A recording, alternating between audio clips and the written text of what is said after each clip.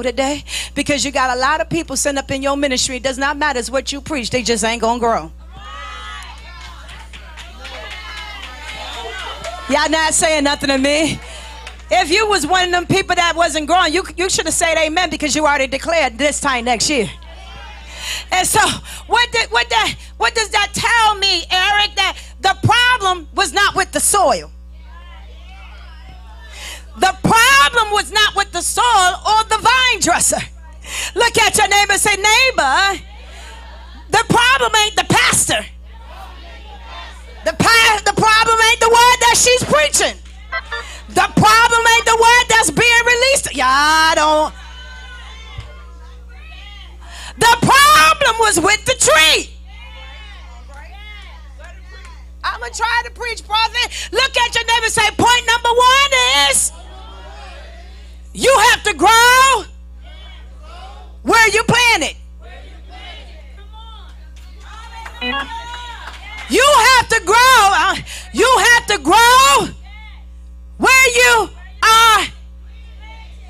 Does that tell me? Stop church hopping. Oh, y'all don't like. Uh, look at somebody say, neighbor, you got to stop church hopping and submit where you're planted.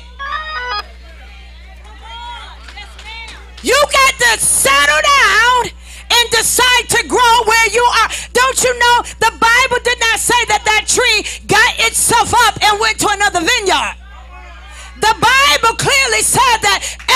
Tree in the vineyard was producing but that one tree. Look at your neighbor say, neighbor, the church ain't the problem, you the problem.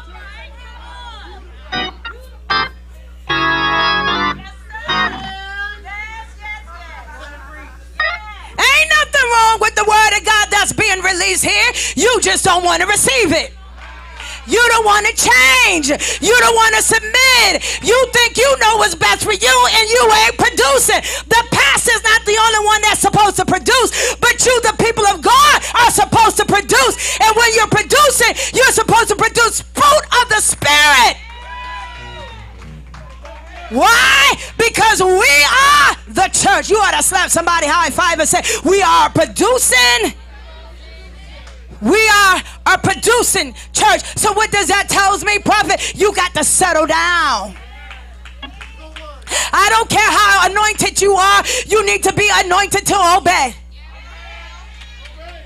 Oh my God, I feel like preaching up here. I say You need to be anointed to obey. You will never be more anointed to your leader if you can't subject yourself to leadership.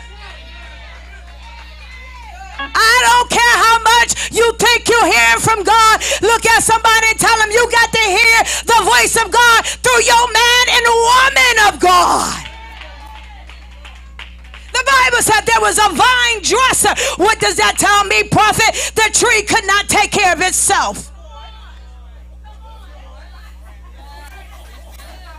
The tree mm, could not take care.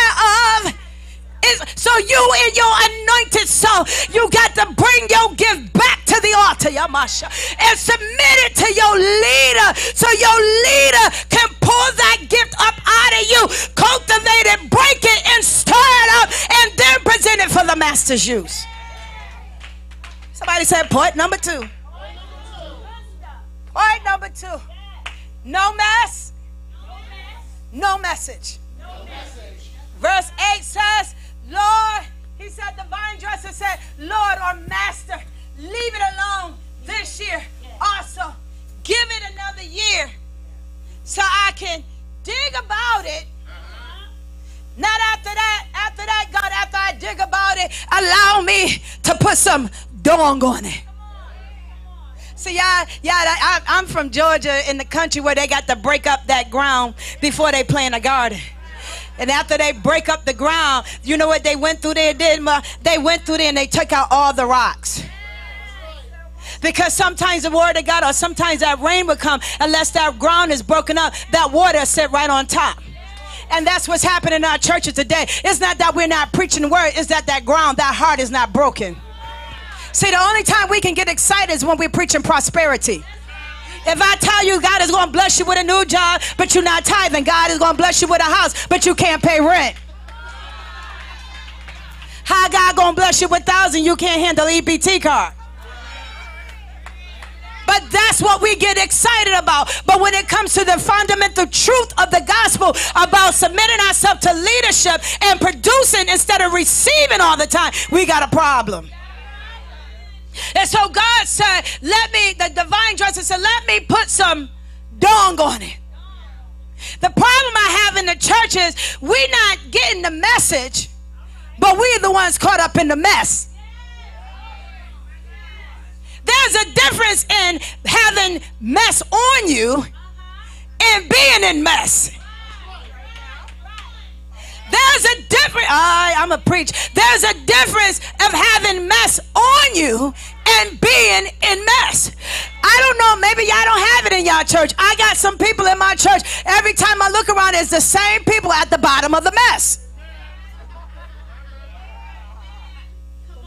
It's same. Uh, maybe I'm the only one. Fresh out, y'all can say amen. Just because you don't say amen don't mean it's not true. And, and so you you look at somebody and say, we got to get the mess